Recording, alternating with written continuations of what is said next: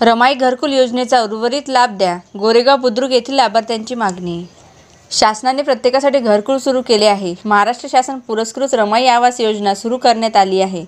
सन दोन हजार अठरा एकोणीसमधील रमाई आवास योजनेचा पहिला हप्ता मिळाला पण अद्यापपर्यंत उर्वरित हप्ता मिळाला नाही. शासनाने उर्वरित रमाई घरकुल हप्त्याची रक्कम द्यावी अशी मागणी गोरेगाव बुद्रुक येथील लाभार्थी शिरसाट यांनी केली आहे.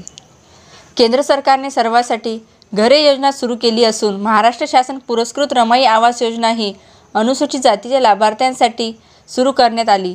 दोन तीन वर्षापूर्वी अकोला तालुक्यातील गोरेगाव बुद्रुक येथील लाभार्थी शिरसाट यांना घरकुल मंजूर होऊन पत्र मिळाले आणि प्रथम हप्ता त्यांनी मिळून लाभार्थ्यांनी घरकुल बांधकाम सुरू केले. उर्वरित रक्कम रमाई आवास योजनेच्या शासनाच्या खात्यामध्ये पैसे नसल्यामुळे त्यावेळेस मिळाली नाही.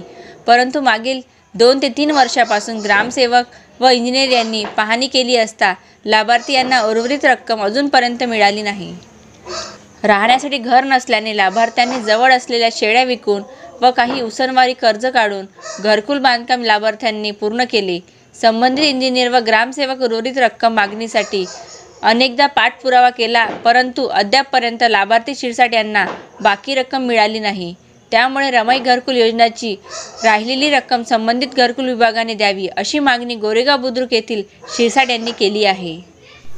मी नागेश रामदास शिरसाट राहणार गोरगा बुद्रुक तालुका जिल्हा अकोला. मला सन अठरा एकोणीसमध्ये रमाई आवास योजनेचे घरकुल मिळाले आणि पहिला हप्ता पण मिळाला. बाकी मी सर्व खर्चाने माझे बांधकाम पूर्ण केले. माझी उर्वरित सर्व रक्कम शासनाने मला देण्यात यावी. हे आपल्या चॅनलच्या माध्यमातून मी शासन शासनाला विनंती करतो.